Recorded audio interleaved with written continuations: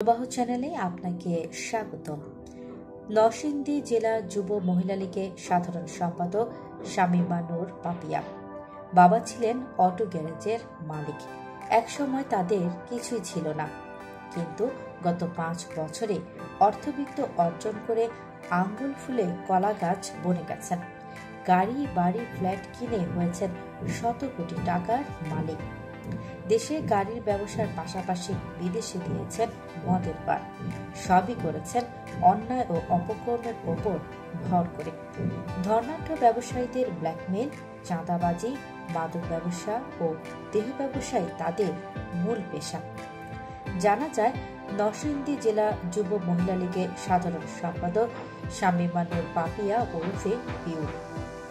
নরসিংদীর বাগদি এলাকায় পেট্রো বাংলা অবসরপ্রাপ্ত গাড়ি চালক সাইফুল বাড়ির মেয়ে। বর্তমানে তার বাবার নিজ এলাকায় একটি অটো গ্যারেজ রয়েছে। সেখানে বেশ কয়েকটি অটো গাড়ি ভাড়া দিয়ে চলে তাদের সংসার। সম্প্রতি পাপিয়া দোতলা বিশিষ্ট আধুনিক একটি বাড়ি করেছেন। তার স্বামী মফিজুর রহমান চৌধুরী সুমনের বাবা মতিউর রহমান চৌধুরী একজন গানের শিক্ষক। বড় ছেলে। একসময় সুমনেরও তেমন কিছুই ছিল না। আধা পাকা টিনশেড ঘরেই কেটেছে তার শৈশব।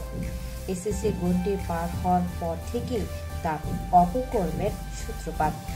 শৈশব থেকেই চাঁদাবাজি, সন্ত্রাসী কর্মকাণ্ড ও ব্ল্যাকমেল ছিল সুমনের প্রধান পেশা। দূরদর্শী, চতুর ও মাস্টারমাইন্ড সুমন রাজনীতিবিদদের সঙ্গে সখ্য গড়ে তোলেন। দুই হাজার এক সালে পৌরসভার কমিশনার মানিক মিয়াকে যাত্রা প্যান্ডেলে গিয়ে হত্যার পর তিনি আলোচনায় আসেন। এরই মধ্যে পাপিয়া চৌধুরীকে বিয়ে করেন সুমন। এরপর তার স্ত্রী পাপিয়াকে রাজনীতিতে কাজে লাগান। সংরক্ষিত আসনের মহিলা এমপি সাবিনা আক্তার তুহিনের সঙ্গে সখ্য গড়ে তোলেন। ওই এমপির সঙ্গে তার গাড়ির ব্যবসা আছে বলে জানা গেছে। দুই সালের তেরো ডিসেম্বর জেলা যুব মহিলা লীগের সম্মেলনে তৌহিদা সরকার রুনা সভাপতি ও পাপিয়া চৌধুরী সাধারণ সম্পাদক নির্বাচিত হন। এরপর আর তাকে পেছনে ফিরে তাকাতে হয়নি। সুমন শহর ছাত্রলীগের সাবেক আহ্বায়ক ও স্ত্রী পাপিয়া যুব মহিলা লীগের সাধারণ সম্পাদক হওয়ায় এলাকায় তাদের বিশাল কর্মী বাহিনী গড়ে ওঠে। বিশাল শোডাউন আর শত শত লোকজন নিয়ে আওয়ামী লীগের মিছিল ও জনসভায় যোগ দেন। নরসিংদী কলেজ শাখা ছাত্রলীগ ও জেলা ছাত্রলীগের অনেক নেতাকর্মী যারা তার অনুসারী, তারা কিউ অ্যান্ড সি টুটে ব্যবহার করেন। মাঝে মধ্যে তারা বিশাল শোডাউন দেন আওয়ামী লীগের মিছিল মিটিংয়ে। সম্পদের পরিমাণ নরসিংদী জেলা শহরে বাগদি মার্কাজ মসজিদ এলাকায় দোতলা বিশিষ্ট বাড়ি রয়েছে পাপিয়ার। সম্প্রতি পৌর শহরের ব্রাহ্মণী এলাকায় তার স্বামী মতি সুমন বিলাসবহুল ছয়তলা বাড়ি করেছেন।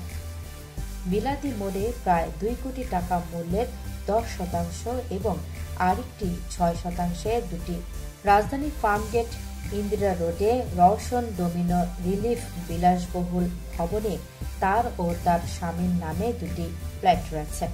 এছাড়া তার কালো ও সাদা রঙের দুটি মাইক্রোবাস, একটি হ্যারিয়ার, একটি নোয়া ও একটি ডিজেল কার আছে। নরসিংদী শহরে পাঁচটি মোটর সাইকেল রয়েছে বলে জানা গেছে। মোটরসাইকেলগুলো তার অনুসারীরা ব্যবহার করেন। নরসিংদী জেলা শহরে সুমন চৌধুরী কে এমসি কার ওয়াশ নামে একটি ব্যবসার প্রতিষ্ঠান আছে। কার ওয়াশ ব্যবসার আড়ালে এখানে মাদক ব্যবসা সহ বিভিন্ন সন্ত্রাসী কর্মকাণ্ড চলে। তার স্বামীর মালিকানায় থাইল্যান্ডে একটি বারও আছে। নরসিংদীর এম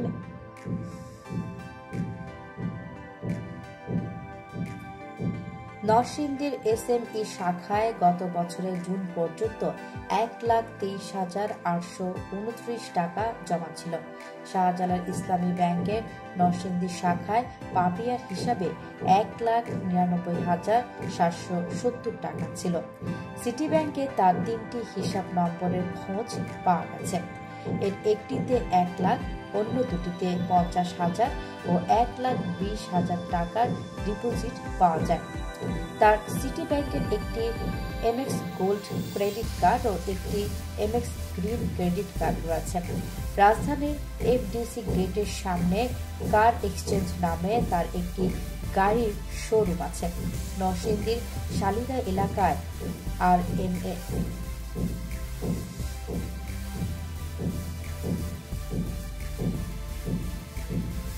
নরসিংদীর শালিদা এলাকায় R M S car wash নামে একটি গাড়ির সার্ভিস সেন্টার রয়েছে। নাম প্রকাশে অনিচ্ছুক এক ব্যবসায়ী জানান ব্ল্যাকমেইলিং তাদের প্রধান পেশা। তারা প্রথমে সুন্দরী নারীদের পাঠায়, তারপর কৌশলে ধর্নাঢ্য ব্যক্তির ছবি তোলে এবং ভিডিও করে। পরে তাদের কাছ থেকে মোটা অঙ্কের টাকা হাতিয়ে নেয়। আজ এ পর্যন্তই। নতুন নতুন ভিডিও পেতে প্রবাহ চ্যানেল সাবস্ক্রাইব করে বেল আইকনে ক্লিক করুন।